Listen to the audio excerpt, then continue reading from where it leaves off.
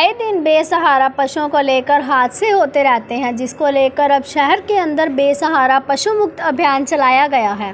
बेसहारा पशुओं को नंदीशाला भेजने का एक अभियान चलाया गया है। इस अभियान की शुरुआत आज सुबह चार बजे की गई।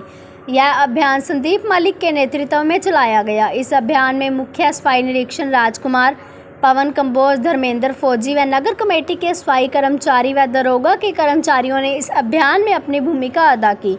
इस अभियान में टोटल 110 लोग जुड़े, जो लोग नगर कमेटी के तो 10 लोग पशु विभाग के अधिकारी रहे। आज सुबह सिरसा के रेलवे फाटक, सागवान चौक, वाल्मीकि चौक, शिव चौक, आईटीआई व अन्य स्थानों से पशुओं को एकत्रित करके रामनगरिया नंदीशाला में भेजा गया।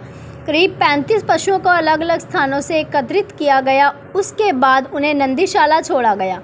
टीम के द्वारा रात को शहर में नाम लगाया जाता है कि कहाँ कहाँ अधिक पशु हैं और फिर सुबह चार बजे उन्हें एकत्रित करके नंदीशाला में छोड़ा जाता है। देखिए तस्वीरें।